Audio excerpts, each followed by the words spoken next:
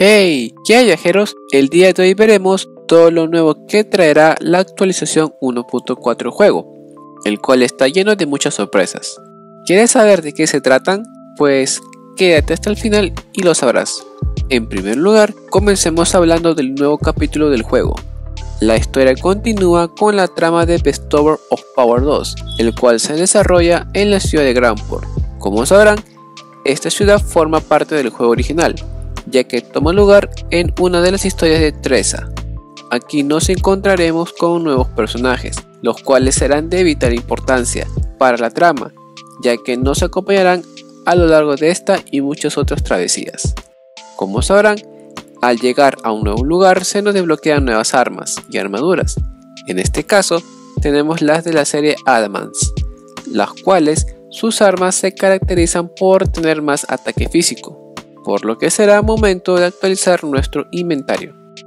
Si han visto el tráiler promocional de este capítulo, se habrán dado cuenta que en el transcurso de la batalla contra el boss de Bestover of Power 2 apareció el personaje más buscado y esperado por todos desde hace mucho tiempo.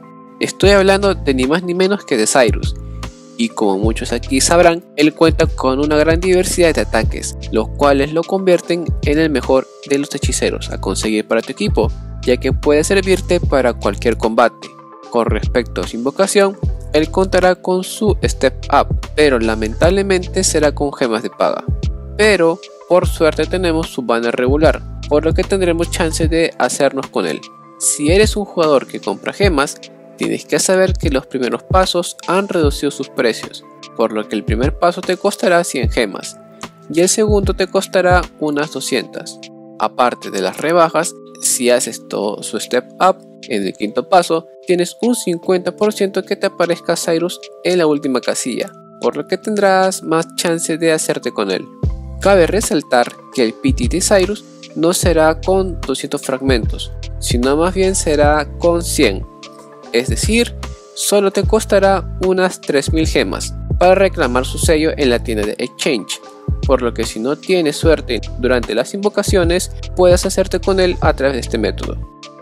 Con respecto a las novedades en la ciudad sin nombre, tendremos la llegada del bar, el cual se va a caracterizar porque podrás restaurar la reputación de la ciudad por si te has quedado sin Path Actions, como también podrás comprar Memory Shards a un NPC que se encuentra dentro del bar, a cambio de dinero. Con respecto al banner permanente, tendremos nuevos viajeros y son ni más ni menos que Cardona, Lionel, Santa y Therion. Por lo que si tienes suerte al momento de intentar invocar a Cyrus a través de su banner o alguno otro, tendrás la posibilidad que te salga uno de estos personajes de forma gratis. De todos ellos, los más relevantes son Santa y Therion, ya que son personajes de tier S, debido a sus buenas habilidades que poseen.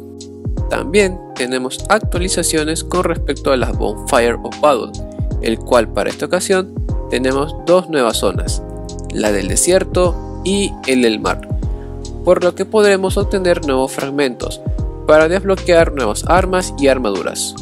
Como sabrán, estamos en época de Navidad, por lo que Octopath Traveler ha decidido darnos regalos por parte de las fiestas, los cuales iremos reclamando durante los próximos días. Estas recompensas son aparte de las que nos van a dar por el Ritu Cup Race y por la llegada del capítulo 2 de Bestover of Power. Con respecto a las recompensas, estos son 300 rubíes, un sello que te garantiza un personaje 5 estrellas, 5 sellos regulares de los cuales puedes obtener personajes de 3, 4 y 5 estrellas, y además obtendremos 11 invocaciones diarias, de los cuales te puede salir cualquier personaje de los banners permanentes por lo que si tienes mucha suerte te vas a poder hacer con muchos personajes en esta temporada, de los cuales pueden ser 5 estrellas.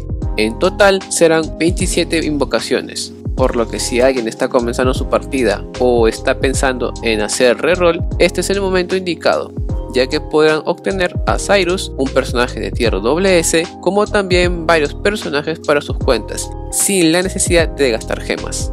Aparte de esta recompensa por Navidad, obtendremos 200 gemas más por llegar a las 20 millones de descargas a nivel mundial. Esto incluye la versión japonesa, la global y la china. Como pueden ver, por esta temporada de Navidad obtendremos una gran cantidad de regalos, los cuales serán de mucha ayuda para muchos jugadores, tanto por las invocaciones gratis que obtendremos como también por las gemas, que servirán para usarlas en posteriores banners. Debo resaltar que este tipo de regalos no será la primera ni la última vez que los obtengamos por parte de Octopath Traveler, ya que también nos darán regalos cuando lleguemos a los 6 meses del juego, al año y también cuando llegue la nueva colaboración que vendrá en los meses posteriores.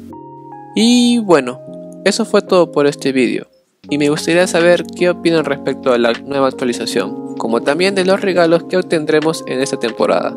¿Están contentos con la sorpresa que nos han brindado? ¿O hubiesen preferido algo mejor? Los leo en la caja de comentarios.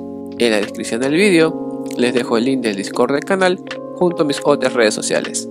Además, si te gustó el vídeo, no te olvides de dejar tu like, compartirlo en tus redes sociales y de suscribirte al canal. Nos vemos muy pronto con más contenido de Octopath Traveler. Bye. See ya.